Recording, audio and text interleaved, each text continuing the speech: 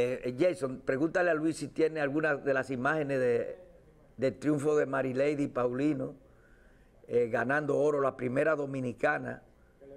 Sí, que lo vaya buscando eh, para...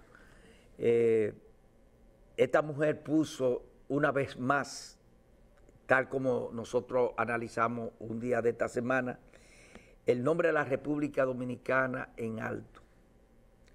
Marilady es un símbolo, es una heroína de la República Dominicana que con esos logros y esas victorias deportivas le hace más aporte que todos los políticos justos que hay en este país.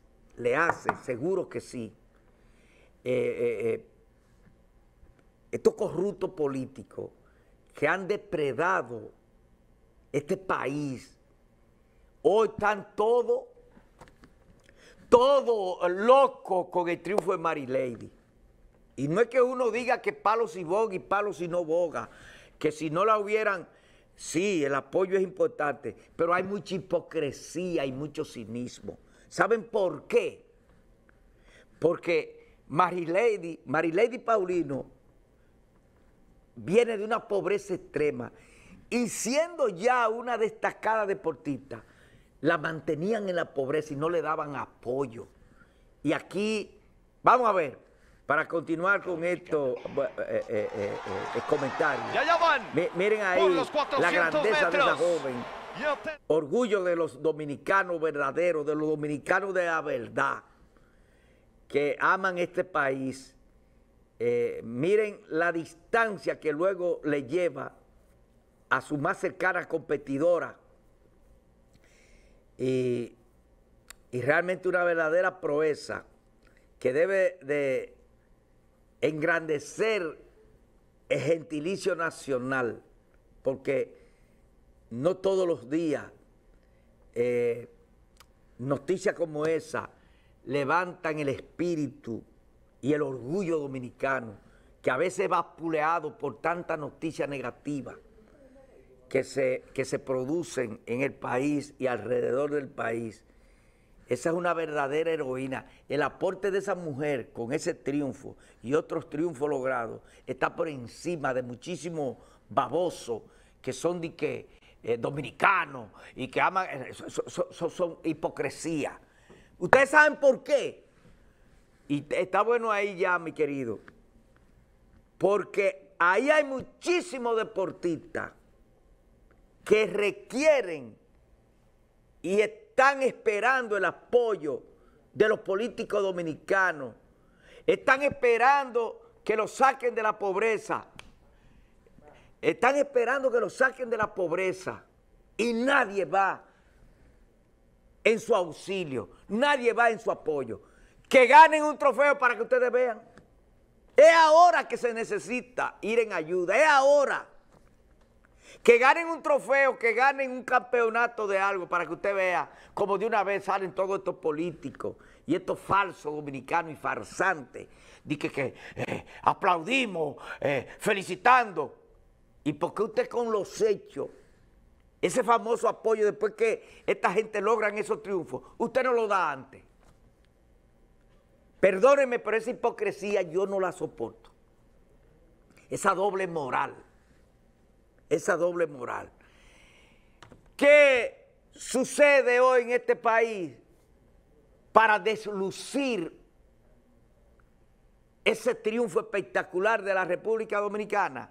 Esta ignominia que yo le voy a presentar ahora, que convierte a esta partidocracia y a esta justicia en una verdadera letrina, señores. Señores, Víctor Díaz Rúa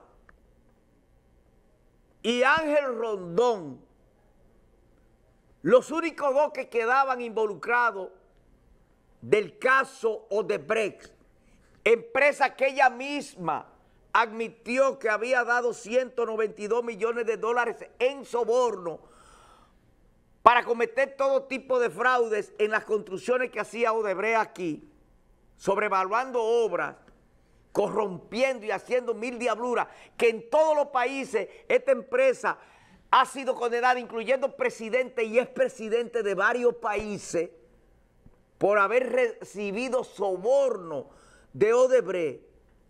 En esta vergüenza de país, estos señores acaban de ser absueltos por la Suprema Corte de Justicia, que se gasta este país, esta porquería de país. Miren esto, señores, en el día de hoy, aprovechando la euforia, aprovechando de la, euforia del triunfo de Lady, miren con qué tablazo nos sale la Suprema Corte de Justicia de la República Dominicana, presidida y compuesta en su gran mayoría por dirigentes políticos, comenzando con el presidente, que es un dirigente político del PLD, canchanchan de Danilo Medina, que lo pusieron ahí para, para proteger ese grupo de delincuentes. Eso es lo que este país se merece, porque eso es lo que merecemos. O sea, ya no hay un solo preso, ya el país no va a recuperar un solo dólar de los sobornos y, y del compromiso que hizo Odebrecht de devolverle al Estado Dominicano parte de los sobornos que había otorgado a políticos corruptos, que todos los que se beneficiaron de esos sobornos, todos están habilitados políticamente en sus respectivos partidos y muchos han sido funcionarios, o sea que esto es una vergüenza, señores. Esto es una vergüenza de país. Y oiga, cuando yo hablo de vergüenza, hablo de toda esa partidocracia, que son igualitos todos. Yo no saco a este y a aquel, son la misma porquería. Una vergüenza, una vergüenza. Pero como pueblo, eso es lo que merecemos, porque nosotros somos los que cogemos esos políticos. Nosotros somos los que respaldamos esos políticos a los que nos van a clavar el cuchillo, a los que nos van a meter a la guillotina, somos nosotros que lo apoyamos. Entonces no nos quejemos, no nos quejemos, eso es lo que merecemos. Es el único país, señores, que ha sucedido una asquerosidad así. Señores, en Panamá hay condenados. En Perú no se puede ni decir de tantos condenados que hay. En todos esos países, Brasil, Brasil hay muchísimos condenados, de donde origen la, empresa Odebrecht.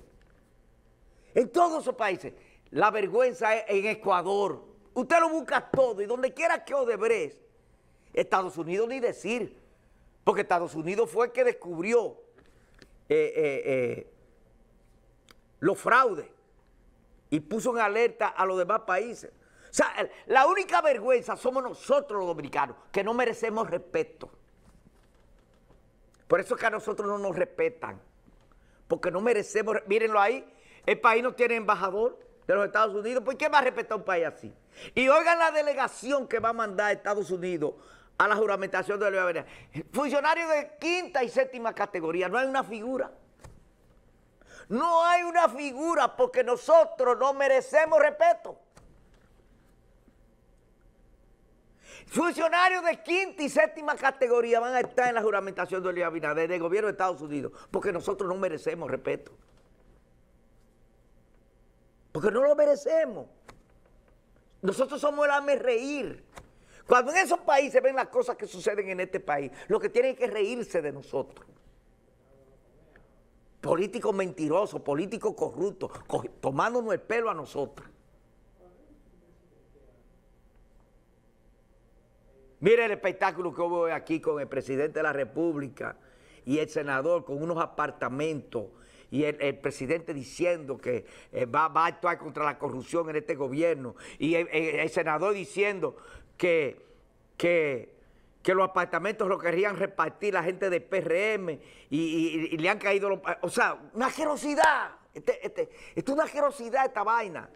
Y tránfuga cogiendo cámara en primera plana y estos sinvergüenzas permiten una cosa así, porque no sirven.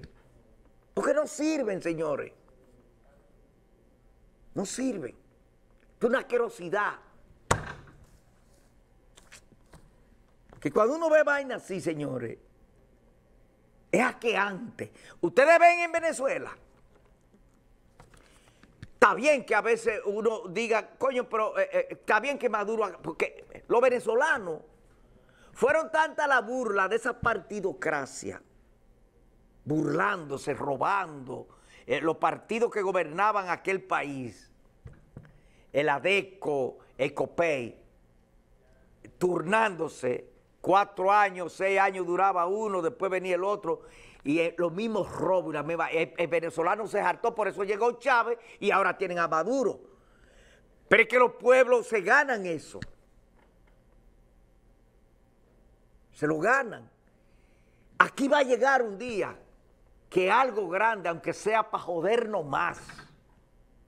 Porque son tanta la burla de esta partidocracia. Coño, que algo hay, hay que hacer, señores, aunque sea para joderse. Aunque sea para jodernos.